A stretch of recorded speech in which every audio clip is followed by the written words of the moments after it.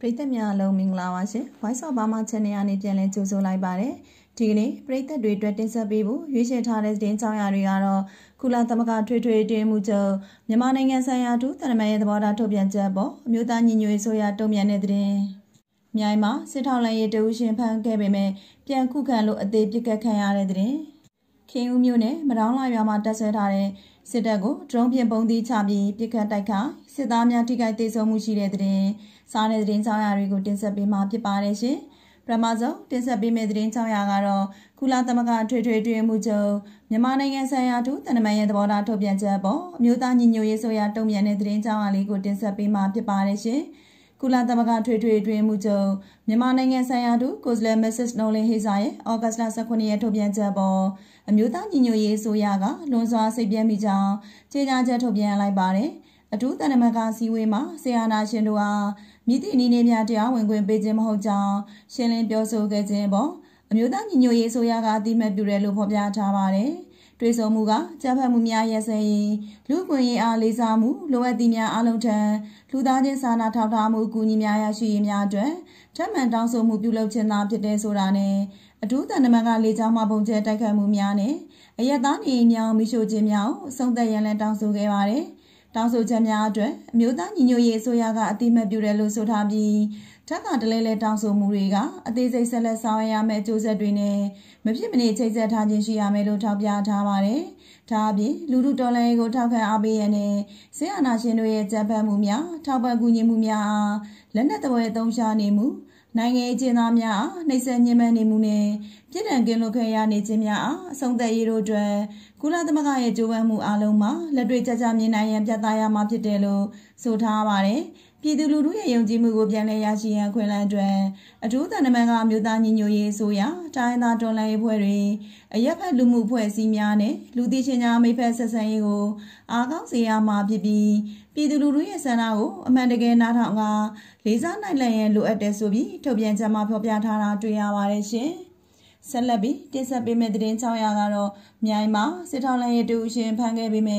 ပြန်ခုခံလို့အသေးပြစ်တက်ခဲ့ရတဲ့သတင်းချောင်းရာလေးကိုဆက်လက်တင်ဆက်ပေးကြပါရရှင်။မကွေတိုင်းမြိုင်မြို့နယ်မှာစစ်ထောက်လိုင်းရဲ့တူကိုဖမ်းဆီးခြင်းပြန်လည်ခုခံတာကြောင့်ပြစ်ခတ်ဖမ်းဆီးခြင်းမှာတေဆုံးသွားတယ်လို့ပြည်သူ့ကောင်ဝေးတပ်မတော်မြိုင်မြို့နယ်ကသတင်းထုတ်ပြန်ထားပါတယ်။ အဲ့ဒီစစ်ထောက်လိုင်းရဲ့ဟာဘိုးဆန်းဝင်အောင်ဆိုသူဖြစ်ပြီးသူနဲ့အတူထောက်ထားပစ္စည်းတွေနဲ့တခြားဆက်ဆက်ပစ္စည်းတွေကိုဖမ်းဆီးရမိထားတယ်လို့ဆိုထားပါတယ်။သူနဲ့အတူစာရွက်စာတမ်းတွေ GoPro Hero 9ကင်မရာတစ်လုံးနဲ့ဆက်ဆက်ပစ္စည်း 4K ဗီဒီယိုကင်မရာတစ်လုံး Boya M1 မိုက်ခရိုဖုန်းတစ်ခု DJ OM4 တစ်ခု Spine Camera Glass တစ်ခု Tripod တစ်ခု GoPro Hero 910 waterproof တခုအာသင်ကြိုမျိုးစုံပတ်စံအိတ်တအိတ်ဖုန်းတစ်လုံးနဲ့ကင်မရာဆက်ဆက်ပစ္စည်းတွေကိုဖမ်းဆီးရမိခဲ့တယ်လို့သတင်းထုတ်ပြန်ထားပါတယ်။စစ်ထောင်းလန်းရေးပိုဆန်ဝင်းအောင်ဆိုသူကိုဒီကနေ့ဩဂတ်စ်20ရက်နေ့ညနေ9နာရီဝန်းကျင်မှာမြိုင်ကုတ်ကူကားလမ်းမှာဖမ်းဆီးရမိခဲ့တာဖြစ်ပြီးဖမ်းဆီးချိန်မှာခုခံထွက်ပြေးလို့လိုက်လံပစ်ခတ်စဉ်သေဆုံးသွားခဲ့တာဖြစ်ပါတယ်။ မကွေတိုင်းပခုတ်ကူခရိုင်နဲ့ခံဟောခရိုင်တွေမှာစစ်ကောင်စီကလေကြောင်းတိုက်ခတ်မှုတွေလှုပ်ဆောင်နေသလိုမြေပြင်မှာလည်းတာလုံအင်အားတွေနဲ့ထိုးစစ်ဆင်နေပြီးပြည်သူတွေအနေတွေကိုမိချိုဖျက်ဆီးတာတွေလှုပ်ဆောင်နေတဲ့အတွက်ကာဝေးတပ်ဖွဲ့တွေနဲ့နေစဉ်တိုက်ပွဲတွေဖြစ်ပွားနေပါတယ်ရှင်။ဆက်လက်ပြီးတင်ဆက်ပေးမယ့်သတင်းကြောင်းရာကတော့ခင်ဦးမြို့နယ်မတောင်းလာရွာမှာတက်ဆွဲထားတဲ့စစ်တပ်ကိုဒရုန်းဖြင့်ပုံသီးချပြီးပြစ်ခတ်တိုက်ခိုက်စစ်သားများထိခိုက်ဒေဆုံးမှုရှိတဲ့သတင်းကြောင်းအလေးကိုဆက်လက်တင်ဆက်ပေးမှာဖြစ်ပါတယ်ရှင်။ စကိုင်းတိုင်းခင်ဦးမြို့နယ်မတောင်းလာရွာမှာတက်ဆွဲထားတဲ့ကျမ်းပတ်စစ်တပ်ကိုဒေသခံကာကွယ်တပ်ဖွဲ့များကယနေ့ဩဂတ်စ်လ20ရက်နေ့မွန်းလွဲ2နာရီခန့်မှာဒရုန်းဖြင့်ပုံသီးချပြီးဝင်ရောက်ပစ်ခတ်တိုက်ခိုက်ခဲ့ကြောင်း Royal တပ်က Guerrilla Force ဖွဲ့မှတာဝန်ရှိသူတို့က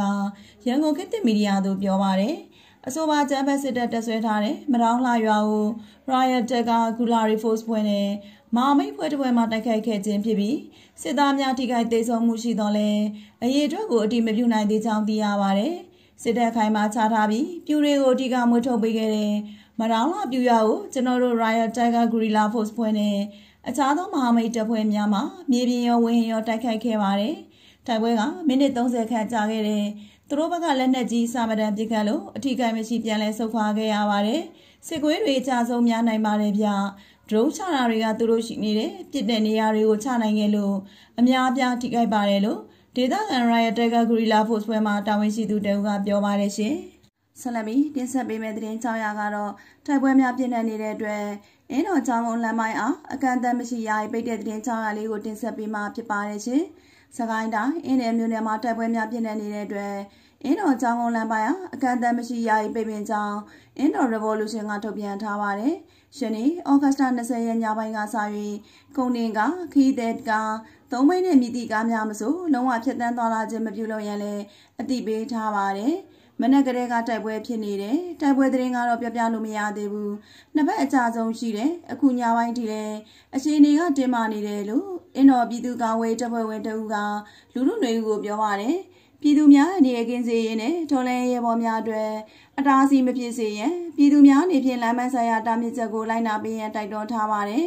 ထို့ပြင်လက်ရှိစစ်ဆေးအခြေအနေကြောင့်အင်းတော်ဗမောက်လမ်းပိုင်းကိုဆက်လက်ပိတ်ပင်ထားစေလို့ဆိုပါတယ်။ဇူလိုင်လကိုမှစ၍ အင်းတော်ဗမောက်လမ်းမှာအင်းတော်ဘက်သို့စစ်ကြောင်းထိုးလာတဲ့စစ်ကောင်စီတပ်စစ်ကြောင်းကိုကချင်လွတ်လပ်ရေးထက်မတော် KIA နဲ့ဒေသကာဝေးတပ် PDF များကတိုက်ခိုက်လျက်ရှိပါတယ်ရှင်။ဆက်လက်ပြီးတင်ဆက်ပေးမယ့်သတင်း600ကတော့ဒဇယ်မှာစစ်ကောင်စီစစ်ကြောင်းနှစ်ဖက်ကြိုက်တိုက်ခတ်ခဲ့ရပြီး18ဦးသေဆုံးဩဂတ်စ်လအတွင်းစစ်ကောင်စီ35ဦးကျော်သေဆုံးတဲ့သတင်း600လေးကိုဆက်လက်တင်ဆက်ပေးမှာဖြစ်ပါတယ်ရှင်။စကိုင်းတိုင်းဒဇယ်မြို့နောက်ဘက်တမိုင်းကွာက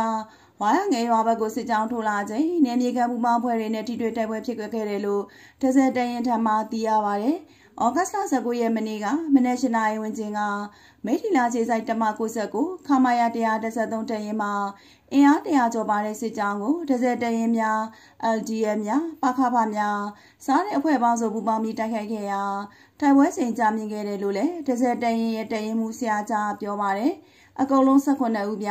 ဒဇယ်ဘလုံးဝင်းထဲမှာလေးလောင်ကြပြီးထန်းစင်နဲ့တင်သွားတယ်လို့ကြားတယ်။အကြီးပိုင်းဒဏ်ရာရတွေကိုလေရင်နဲ့တဲသွားတယ်။ကျွန်တော်တို့ကြားတာကတော့သူတို့စစ်ကြောမှုထိတယ်လို့လည်းကြားတယ်ဗျ။ထန်းစင်နဲ့ထုတ်သွားတာလည်းတွေ့ရတယ်လို့၎င်းကပြောပါတယ်။ထိတွေ့တိုက်ပွဲကြောင့်စစ်ကောင်စီတပ်သား19ဦးသေဆုံးက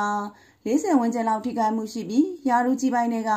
ဒဏ်ရာရသူတွေကိုလင်းနဲ့ပြန်တဲသွားကကျန်တဲ့သူတွေကိုတော့ဖောကားနဲ့တဲပြီးတစ်စက်မျိုးထဲမှာဆေးရုံတင်ထားတယ်လို့သိရပါတယ်။ စစ်ကောင်စီဘက်ကလက်နက်ကြီးတွေတရက်ဆက်ပစ်ပေမဲ့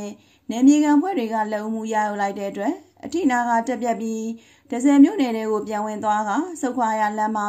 စစ်သားအလောင်းတစ်လောင်းကိုလည်းမိရှို့ထားခဲ့တယ်လို့သိရပါတယ်။သူတို့စစ်ကြောင်းပလန်ကိုကျွန်တော်တို့ကဖျက်လိုက်နိုင်တယ်။ပြစ်ကူမရတော့ပဲကစင်ကလျားဖြစ်ပြီးရွာတွေကိုမိကိုပြန်မရှို့နိုင်တော့ဘူး။ဝါရငယ်မှာသူတို့လူအလောင်းတစ်လောင်းကိုမိရှို့ပြီးဒဇယ်မြို့ထဲပြန်ဆုတ်သွားကြတယ်လို့ပြောပါတယ်။ ဒဇယ်မျိုးမှာဩဂတ်လအတွင်းတိုက်ပွဲ9ကြိမ်နဲ့ထပ်ဖြစ်ပွားခဲ့ပြီးစစ်ကောင်စီဘက်က35ဦးကျော်သေဆုံးခဲ့တယ်လို့လည်းသိရပါတယ်ရှင်။ဒီကနေ့သတင်းတင်ဆက်မှုကိုခိတခဏရနာဝင်ပြပါရှင်။နောက်ထပ်လည်းကျမတို့ channel ဟာသတင်းချောင်းရလေးတွေကိုတင်ဆက်ပေးအောင်ပါမို့စောင့်မျှော်ကြည့်ရှုနားဆင်အားပေးကြပါအောင်ရှင်။အားပေးကြတဲ့ပရိသတ်တယောက်ချင်းစီကိုလည်းကျေးဇူးထူပင်တင်ရှိပါရရှင်။